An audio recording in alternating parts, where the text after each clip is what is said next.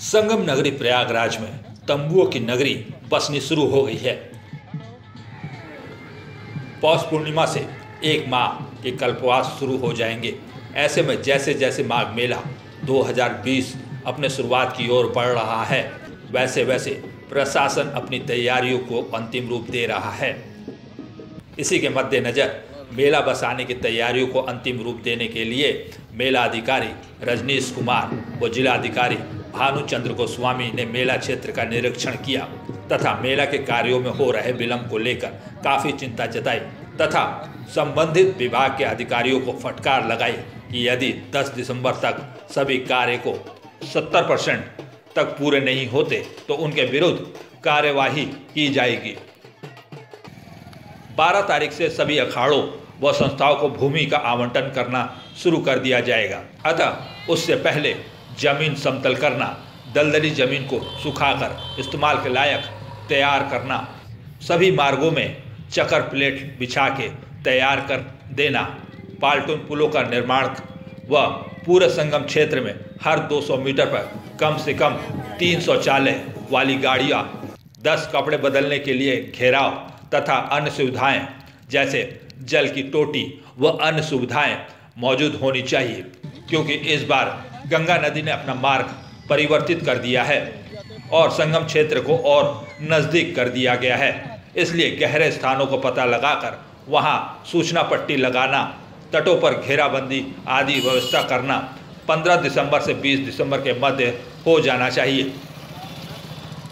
आप सभी लोग जैसा कि अवगत हो गए कि कुंभ के बाद का ये माघ मेला है तो लोगों की अपेक्षाएँ इस मेले को लेकर के काफ़ी बढ़ी हुई हैं। उसके रिगार्डिंग हम लोगों ने माकूल इंतज़ाम कर लिए हैं। पूरा हर विभाग एकदम कमर कस चुका है अपनी पूरी तैयारियों को लेकर के। सारे विभाग के अधिकारी लगातार फ़ील्ड विज़िट करके पूरी तैयारियों को मुकम्मल कर रहे हैं। आप देख रहे होंगे कि पीडब्ल्यूडी ने जो इनको पीपे का पुल और चकड़ बिछाने का काम होता है, उसको काफ़ी हद तक कंप्लीट कर लिया है। पीपे के पुल इनके लगभग दो एक तो चल चुका है, एक एकदम चालू स्थिति में है, होने वाला है। बाकी तीन पुलों पे भी उनका काम लगभग कंप्लीट होने वाला है। चकड़ के काम को भी उन लोगों ने चकड़ प्लेट बिछाने का काम अब काफ़ी तेज़ी लाए हैं। लगभग सभी सेक्टर्स में आपको चकड़ प्लेट बिछा हुआ दिखेगा। बिजली विभाग ने भी अपने लगभग सभी सेक्टर्स में अपनी पहुँच बना ली है। हर सेक्टर्स में उनके पोल अ, गड़ चुके हैं और वायरिंग का काम उनके द्वारा किया जा रहा है।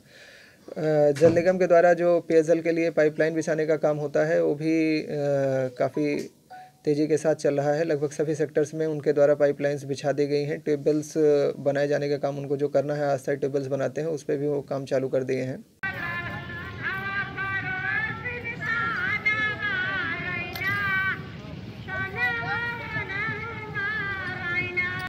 उन्होंने मुख्य चिकित्सा अधिकारी प्रयागराज को भी दिशा निर्देश पारित करते हुए कहा कि सभी सेक्टरों में प्राथमिक स्वास्थ्य केंद्र दो केंद्रीय अस्पताल व आकस्मिक स्वास्थ्य व्यवस्था भी 20 दिसंबर तक चालू हो जाने चाहिए।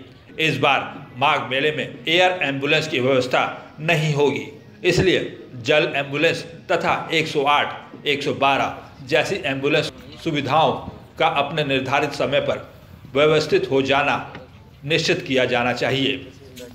स्वास्थ्य विभाग ने हॉस्पिटल्स बनाने का काम स्टार्ट कर दिया है। फ्लड वालों का भी काम स्टार्ट हो चुका है। आप देख रहे होंगे कि मेला प्रशासन के द्वारा जो लेबलिंग और वो कराई जाती है, वो भी काफ़ी हद तक सेवेंटी परसेंट से अधिक कराई जा चुकी है। हम लोग पूरी तरीके से कमर कस चुके हैं। बारह तारीख से संस्थाओं का ज़मीन का आवंटन का कार्य हम लोग करने जा रहे हैं। बारह तारीख से ज़मीन आवंटित की जाएगी संस्थाओं को।